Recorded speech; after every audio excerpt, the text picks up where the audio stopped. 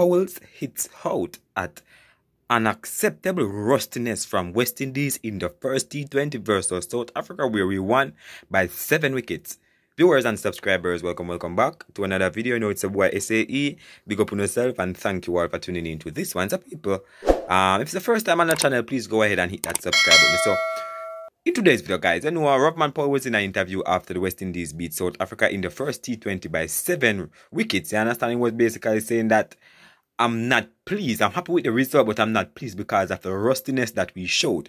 You understand, people? I believe the rustiness, before I even quote the article to you guys, I believe the rustiness that he's talking about is um in the back end, in the middle phase, where the South African conceded 70 they scored 70 and 72 in the middle and the back end of West Indies. Because remember, people, at one point, at I think 10 over or so are you know you know they were um 42 for 5 you understand? And West Indies let them back in the game people. And that really um should I say that's what Rovman Poe is talking about rustiness. But we're gonna let you hear what he said. So let me your ears for a minute alright so Rovman Powell insists West Indies must not get too far ahead of themselves after what he saw as an unacceptable level of rustiness against South Africa.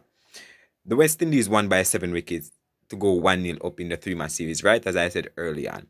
They have now won five after their last 60 20s against the Proteas, having bounced back from the three wicket defeat at the T20 World Cup in June right?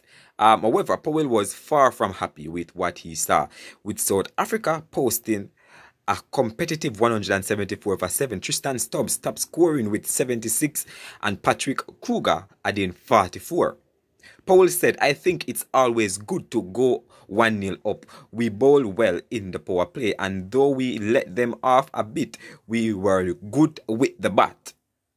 The guys look a bit rusty, you know, which is unacceptable at this level.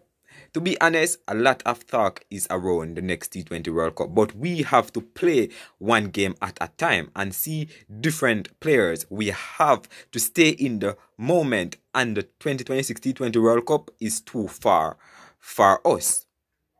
Right? Shai Hope 51, Alick 40, um got the West Indies chase off to a strong start, you know, proving or paving the way um for Nicholas Pooran to take center stage with an unbeaten 65, which include reeling off four straight sixes in one over. Right? I just felt like Shai and Alick put South Africa under pressure in the power play, said Pooran, who was named player of the match, right? Um at the 10 over mark, we knew it was a better wicket, and my job was simple. You know, uh, and just had to take on my matchups. With rain around, the first 10 overs were tricky when South Africa um, batted. Stubbs and Kruger played well, but we knew the wicket would get better. Along with Stubbs' performance with, the bat, one other bright spark for South Africa in the, their defeat was teenager Kiwana Akwina Mahaka or Maphaka, who claimed made maiden international wicket. Right? Um, Mahaka has a lot of X factor and is really young, said Proteas captain Aiden Markram. He has hunger when you speak to him off the field and he wants to win games for South Africa. So basically, people, um, you know, Powell wasn't pleased with it, and um, I understand his point of view, but you know, people, leave your thoughts down below. You understand? What's your take on it? Do you agree or disagree with them? Leave it down below. Big up on yourself, alright?